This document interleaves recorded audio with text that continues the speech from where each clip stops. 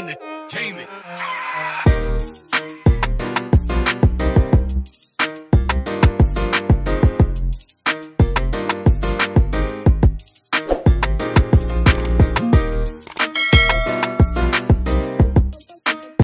Okay guys, ito yung ah, kahapon na ginawa, ah, pinakita ko sa inyo na may problema sa kanyang main shop.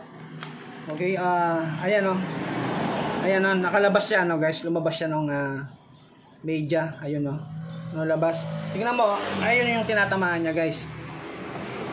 Ayun, yung idle gear. Ayan, dahil lumabas yung bearing, tumama doon sa idle gear, ayun. Okay, parang nagumpugan sila, ayun.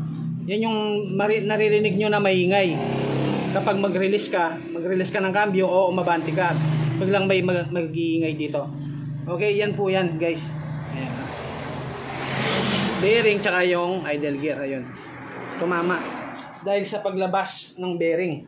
Okay, yung idle gear natin, yung starter gear com natin nito, maayos yan, wala naman siyang alog. O yan, wala naman alog yan. Yan, may play ng konti yan guys, pag ganyan, papasok, papasok doon. Pero hindi labis ha.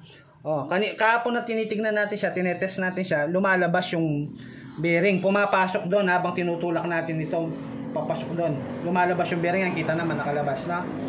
O, ganyan.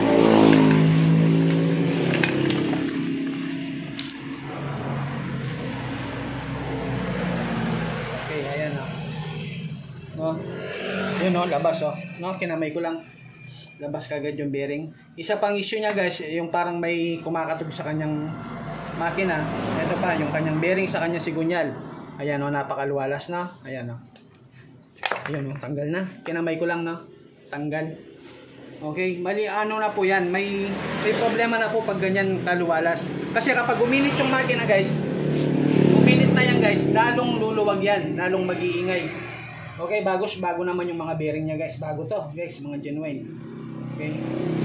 Ang may problema dito guys, yan. Kung saan naglalapat yung bearing yung bahay nila. Yan, may ukab na, lalim mo. Oh. No?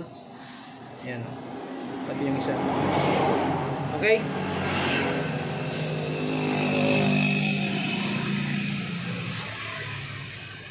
Tapos.